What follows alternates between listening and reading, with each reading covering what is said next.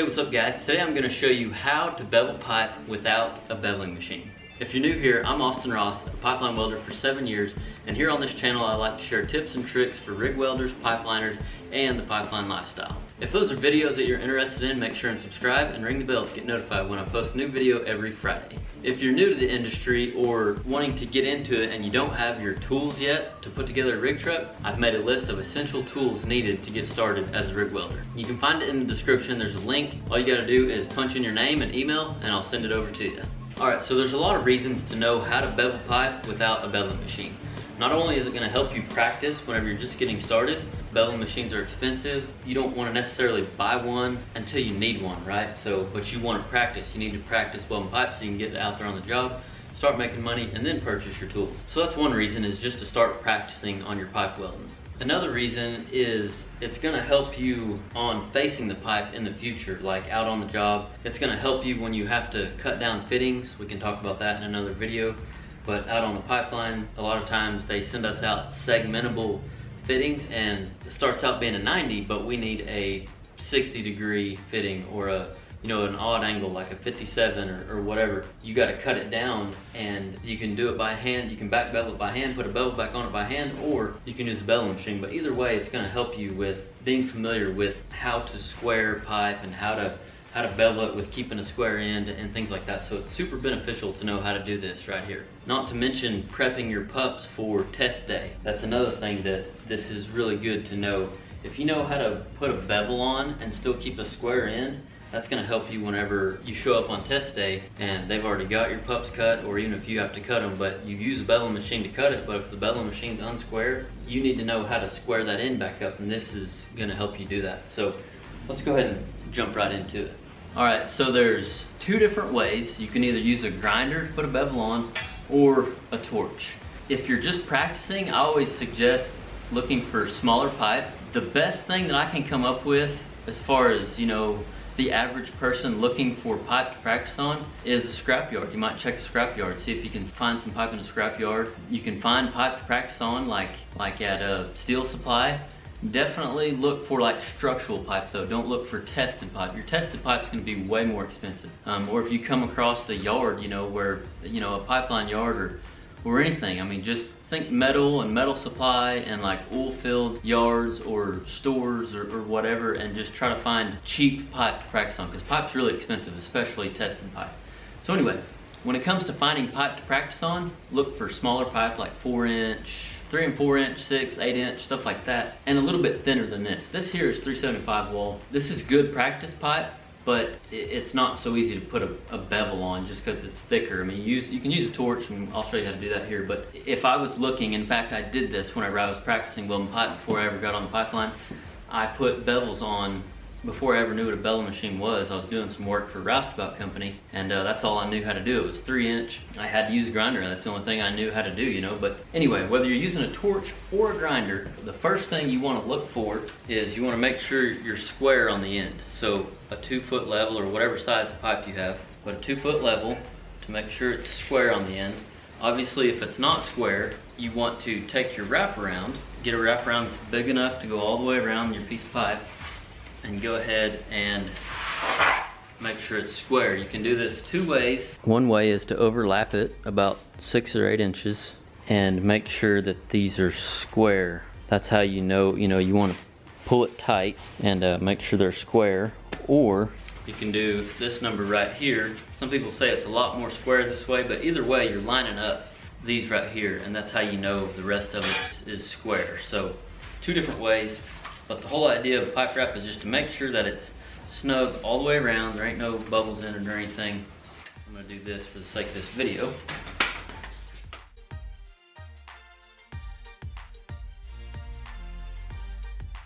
And depending on the thickness of pipe, the average bevel is either, like on a factory piece of pipe, is either, I think it's considered a 60, 60 or 30. It's a good thing you don't have to be good at math to be a welder, but it's either 60 or 30 is what it's considered. But as far as when you're just practicing, I wouldn't worry too much about that. But whatever you do, don't do what I just did. I would actually take a tape measure. I just eyeballed it, but take a tape measure and measure back a quarter inch or a tri-square and make four marks all the way around.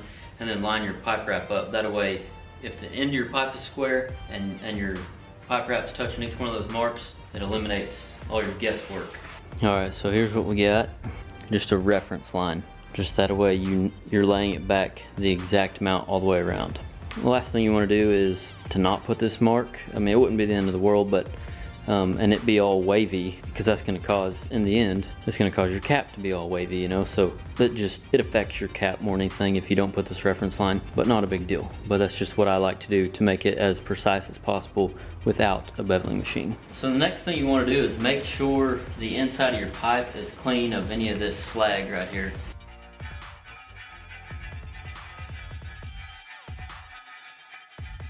It's important to do that because you're gonna end up leaving this part, as long as this is square and a clean, a clean cut, you can literally leave this inside as you're landing and not have to put a landing on it. It's just faster that way. Or you can get it all the way sharp and then put your landing on. But I always just left, you know, this. I'll, I'll show you what I'm talking about. But So we'll do a grinder first before the torch. Uh, you can either use a, a grinding disc or a sanding pad. Uh, sanding pad, a brand new sanding pad seems to work better than a grinder. I mean, believe it or not, or at least in my experience. But if you do use a, a grinding disc, you can use a, a, quarter inch disc or one eighth because this is what you're gonna have 90% of the time on pipeline work is one eighth. Make sure you're using the right disc. If you haven't seen the video we did about grinding discs, We'll put a link in the description so you can check it out or a suggested video. Make sure you're using the proper grind disc. Some of these grind discs ain't made to be used right here, especially the 1 8 discs. But this one is, it's made for 45 and 90 degrees. So I like to use this part of the grinder.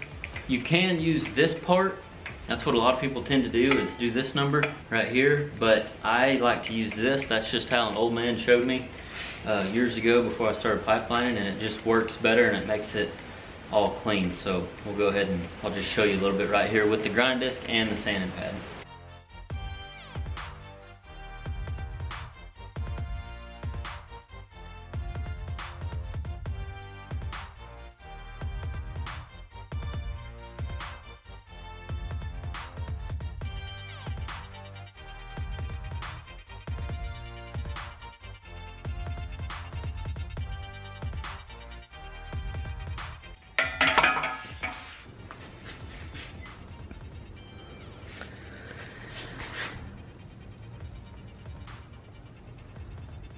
Okay, so that right there, you can see my landing's a little heavy right here. That right there is with a 1 8 grinding disc and just not even a quarter. A quarter would be way down here. So like this much on a piece of 12 inch 375 wall took me roughly four minutes just with the grinding disc. But do you see how for one, whenever you're running the grind disc like this, it seems like you keep the, you're steadily changing your angle. So that's one of the reasons why I like using this part of the disc versus like the edge. But also it just looks more clean, you know? That's what I like about it. But that was with the grind disc, took me four minutes. So I'm guessing, say five minutes, five or six minutes, six times four. That's gonna take you about 30 minutes, I would say, to bevel this by hand with the grinding disc. Now we'll go ahead and try the sanding pad.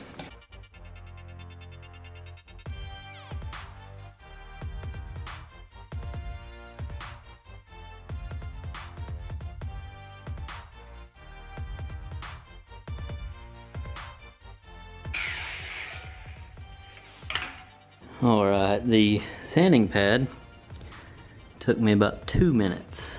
So that was a brand new sanding pad, 12 inch 375 wall. Quarter of it took me about two minutes. So I would venture to say as long as you have a brand new sanding pad, works better than a grinding disc, which is usually the case, but a, I mean a used grind disc will not cut like that usually. But alright, so now let's use the torch for the next quarter.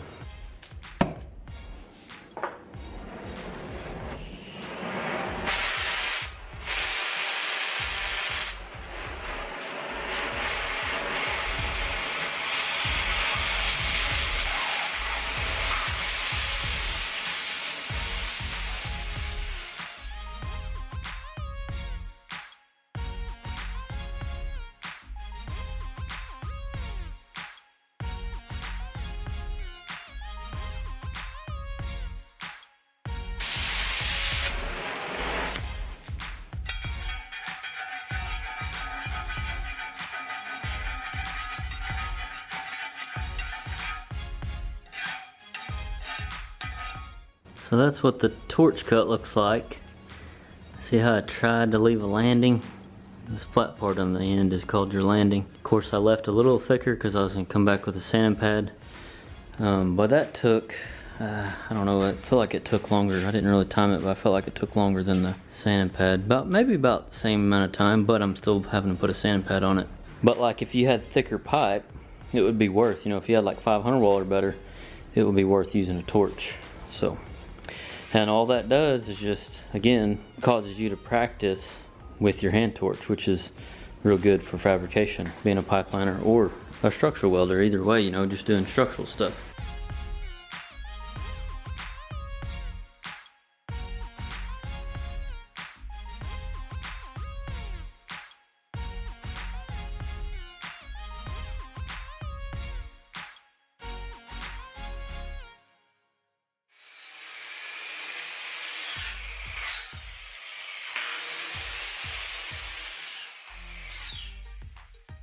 Well, there you have it. There are essentially three different ways, two different ways to bevel pipe without a beveling machine. And the reason I like to leave that landing instead of sharpen it and then put the landing is because if you made sure it was square beforehand, it should still be square in the end, which is what we have here. So that's good news as I was grinding this, it reminded me that it's super helpful for the branch too. For those of you that aren't familiar with the with the branch, you have to bevel your your piece that you that you're that you're fitting. Once you get it fitting, you got to you got to put a bevel on it, and that's essentially exactly what I did here. You know, without the ears and the throats. But so super helpful thing to know how to do for your pipeline career, welding career in general, just fabricating, just knowing how to run your grinder and fit stuff. Not only your branch, but your test pups. Like I said at the beginning, beginning of this video, whether you're fitting up bigger pipe or 12 inch, you always clean them up. You know, you, you, you, sand the bevel smooth if it needs it, put a landing on it, because uh, if it's a bevel cut, it won't have a landing on it. But you always put them together first, whether it's like this or setting down like this you always look at your space all the way around and sometimes you'll have a wide spot and you want to you want it to be blacked out all the way around. So if you're testing on bigger pipe and it's not blacked out all the way around you want to mark it just like you would the branch and lay back put a heavy landing on the spots that we're touching and then lay that back to the to the wide spots. So I hope that makes sense.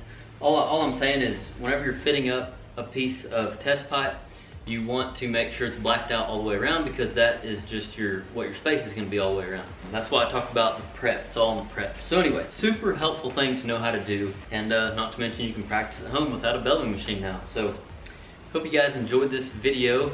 Let me know in the comments if you have any questions or any other videos that you would like me to do referring to prepping pipe and whatnot. Uh, I've got tons of ideas, but let me know if this sparked any any interest. And let me know if you have any tips. Share it with everybody in the comments. My advice for the week is prep is everything. I, have talked about it throughout this video a little bit, but prep is everything. It all starts with the prep. Whenever you're nervous on test day, try to be patient and focus on the prep. Do not focus on being in a hurry, focus on your prep. If you're calm and collective on test day and you're focusing on getting the best fit that you can, that's gonna make the welding go that much easier, therefore relieve a lot of stress. So my tip is remember that it's all in the prep. So anyway, I hope you guys enjoyed this video. We will see you next week. Thank you for watching, and remember, learn something every day.